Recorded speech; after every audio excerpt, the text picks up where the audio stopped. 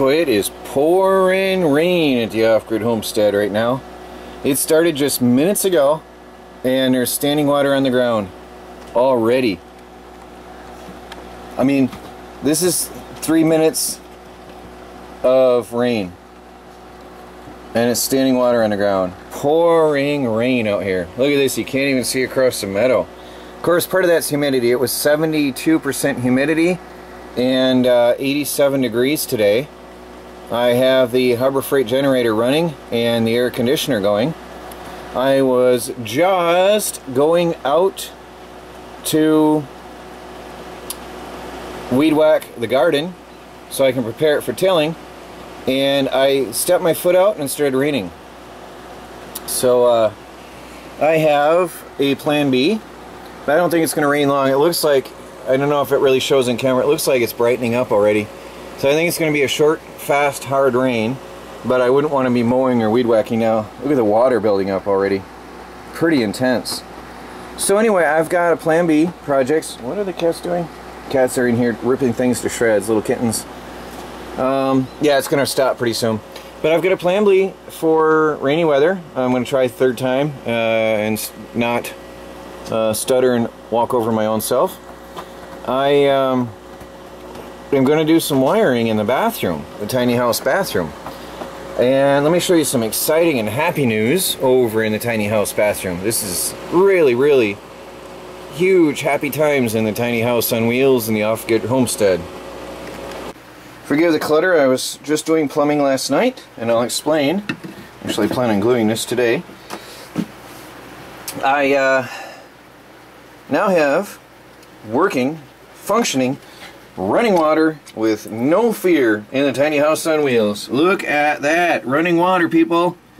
Running water and a functioning drain pipe in the tiny house. I wanted to thank the person. I um, didn't see all the comments, by the way, but I waited on my plumbing.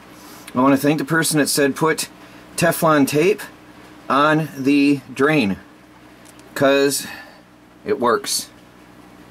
I brushed my teeth inside my tiny house today for the first time ever. So the Teflon tape wrapped around that uh, angled drain pipe there did the job that did the job. So, whoever had that advice, I want to thank you. I know there was a lot of other good advice, um, ranging from take it back to all kinds of other things.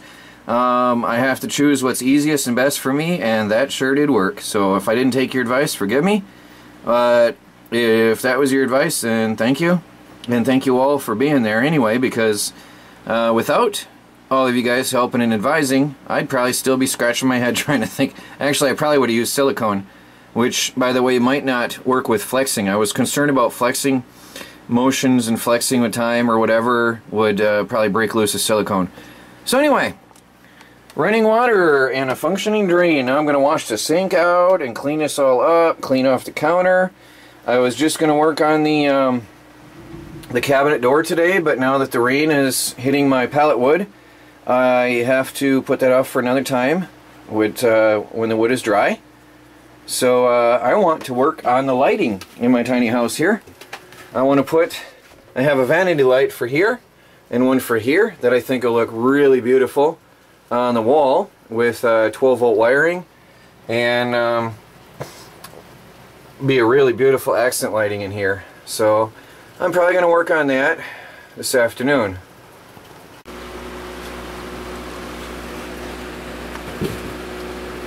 There's a turtle. That's, I guess it's raining hard enough that a turtle finds it comfortable in my yard. How crazy is that? Out in front of the chicken coop.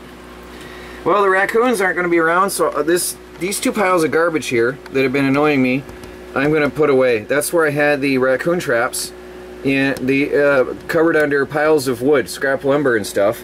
I am now going to take the raccoon traps out of the meadow. Well, not this minute, because we do have uh, heavy, heavy rain. So I'm going to clear out all the raccoon traps and put them out further into the woods now because I have a beagle, which is probably going to keep the raccoons at bay. And I probably won't have any more trouble with the uh, them invading my territory here. So definitely a good thing. So when this rain lets up and things are dry again and, and the ground is, is, is firmed up, I will be cleaning that area as well now. By the way, Joy is loose and she is staying home. She is free to roam and come and go as she pleases. And she is a happy, happy dog. She prances around with her tail up and bouncing around happily and she is in paradise. She's going to enjoy her last years in pure doggy heaven because she has chipmunks and squirrels and uh, raccoons to chase and scents of deer to follow and she is really loving it. But she has accepted me and this is her home and uh, she's staying here. So that's a very good thing. No more chain. She's been free since yesterday afternoon or yesterday morning. She was free all day and free all night. I took a risk. I was really concerned, but I prayed about it and I let her loose and she stayed here. So uh, I think she's going to be all right. Uh, she's going to be a good dog here for the off-grid homestead. Sure enough, 10 minutes later, all is gone the puddles of water are drying up. The ground needed it desperately. Was a desperately needed uh, storm and desperately needed temperature change. It was 87 degrees and 72%, oh wow, it's 87, 89% humidity out. Of course, it just rained. So I just turned off the air conditioner because it dropped. The temperature dropped super fast. In like 15 minutes of a thunderstorm, the temperature dropped rapidly. So it's 72 out and 76 in. So I just open up the windows and I'm going to go shut off the generator and save some power. That's a massive temperature drop. Really, really good for saving energy here at the off-grid homestead. Of course, with the uh, uh, the rain, I have less solar. But yeah, you got pros and cons, I guess. But anyway, I uh, going to continue on working in the tiny house. Well, the rain stopped, the temperature went up, the humidity went up, so I'm sweating sitting still, so I fired up the generator again and got the air conditioner going. And uh, little guys want attention. So I'll show you what I'm doing over here. I'm in the tiny house bathroom doing electrical wiring on a rainy day. Um, it's not going to stop raining for a while, I guess. So anyway, I'm running the wires and I had intentionally left the extra unused strands here, the green and white. Now if you remember, most of you probably won't by this time, the red and black go down to the fan of the composting toilet which I will then run along here under a piece of trim work and then down and around and somehow hide along this wall all the way to the bottom. So this is going to be a bit of a, a nightmare to hook up the framing around here, but I'll figure it out and hopefully make it look pretty.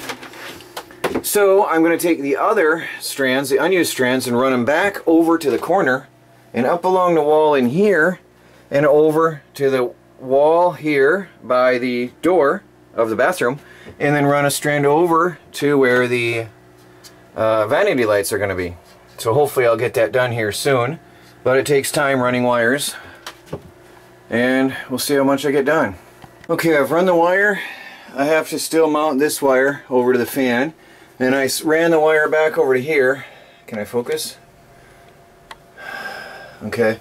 I split it off right here at the corner and then ran it across through the house over to here by the bathroom door and then down and so far I have it hooked up I have the positive hooked up to a switch here okay and then I ran a positive wire over. And I've connected it to the light fixture for now because I just want to see if I can get it to turn on. And I got a ground wire going up all the way into the upstairs to the bedroom to the main line coming into the house which I am now going to fuse and tap in. And then hopefully here I should have power uh, when all that is done. I'm going to fuse it upstairs. Make sure that's in an off position. Yes so let's take you upstairs. Maybe you can watch me up there a bit. Oh, been working all day without the camera, but it's been uh, tight quarters downstairs, so sorry about that. Right now I'm hooking the fan back up. It goes into the bathroom over there.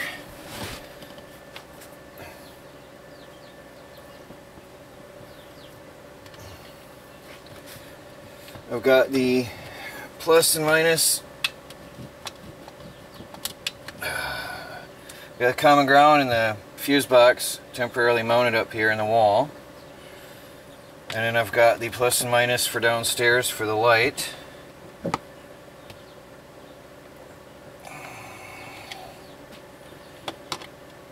common ground here is all going in a box that I'm going to build.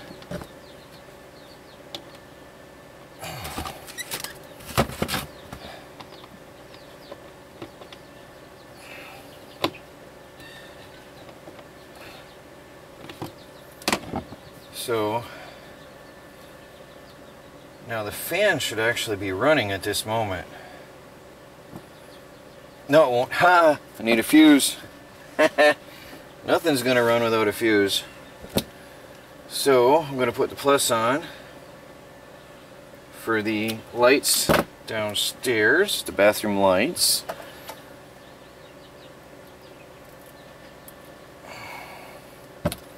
Just, just a crimp-on connector for the positive to the lights. Now that I've got that fuse on there, or fuse block, box, I had to go to AutoZone to get this. Uh, sorry, gotta block your view a minute. Make sure it's in there. I had to go to AutoZone. It's the only place I could find this. Nobody else had them.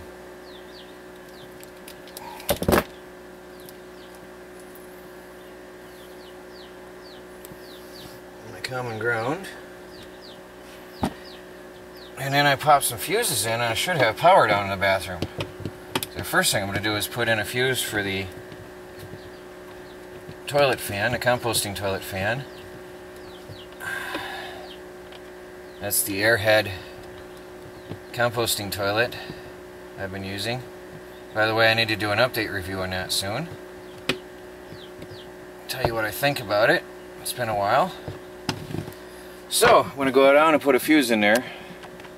Okay, I've jumped into here to the main hot wires, and I've gone up with a common ground from the uh, black wire, and from the red I came up with a common positive to here, both of which I'm going to replace with thicker wires later.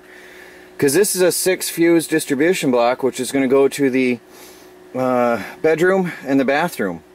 Now I do have the kitchen wire comes up here as well from the overhead lighting, so I'm going to have to extend the wires and bring it up into here before I'm done. But I put in the two fuses for the one for the fan and one for the uh, bathroom light. So let's go down and have a look at the light. Look at that. Already you can see a huge, huge difference in the brightness in this place. That's one LED light bulb. In the, uh, well, that was the first time the kittens ever followed me this far into the house. So um, I've got the one LED. Uh, the fixture is just hanging on my towel rack for now because I still have to mount it here. And to do that I'm going to have to build an adapter plate because it's got this rod that sticks through. This decorative rod sticks through and goes deep into the wall. Too far for usefulness for me. So I've got definitely a lot of light in here from one light bulb and it's not even mounted on the wall. Once I get that properly mounted, it's really going to add some light in this place. Look at how bright that is. That's just one LED.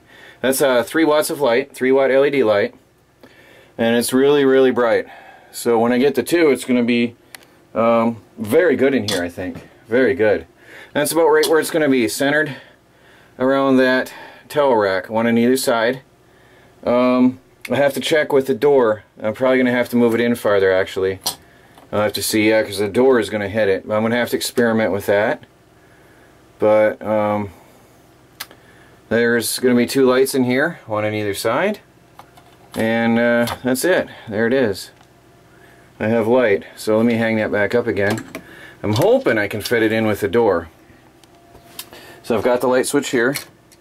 Darkness, light.